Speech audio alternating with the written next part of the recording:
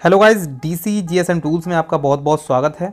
आज एमआरटी की तरफ़ से बहुत ही ज़बरदस्त अपडेट आया हुआ है। जिस अपडेट का शायद लोगों को बहुत ही बेसब्री से इंतज़ार था। दोस्तों, ये अपडेट क्या है वो मैं आपको इस वीडियो में बताऊँगा। चैनल पे नए हो, सब्सक्राइब कर लेना, दबा देना बेल आइकन को ताकि अगली वीडियो की नोटिफिकेशन आपके पास सबसे पहले पहुँच सके। कोई भी बॉक्स डोंगल परचेज करना हो या फिर करवाना हो उसका एक्टिवेशन तो डिस्क्रिप्शन में मेरा व्हाट्सएप नंबर है, जाके ऑर्डर ईजिली जो है प्लेस कर सकते हैं। तो वीडियो को लाइक करना बिल्कुल भी मत भूलना और इस वीडियो को ज़्यादा से ज़्यादा अपने ग्रुप्स वगैरह में शेयर करो ताकि उन लोगों को भी पता लग पाए इसके बारे में।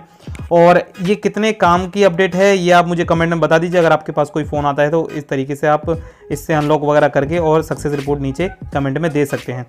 तो चलिए, चलते हैं। और यहाँ आपको दिखाते हैं, देखिए एमआरटी की तरफ़ से एमआरटी की वर्जन 3.62 जो है रिलीज़ हो चुका है।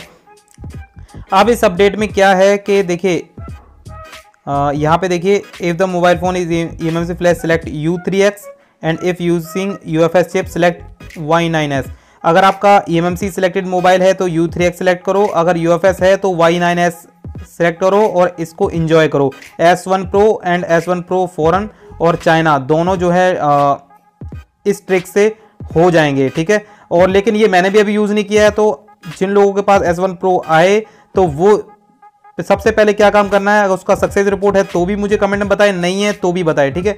लेकिन इसके चक्कर में वीडियो को डिसलाइक वगैरह मत कर देना, क्योंकि अभी ये तुरंत अपडेट आया इसलिए मैंने आपको जो है ये अपडेट दिया है। तो वीडियो को लाइक बिल्कुल ज़रूर कर देना और सक्सेस रिपोर्ट कमेंट में बता देना, जिसके पास भी सेट आए तो ठीक है?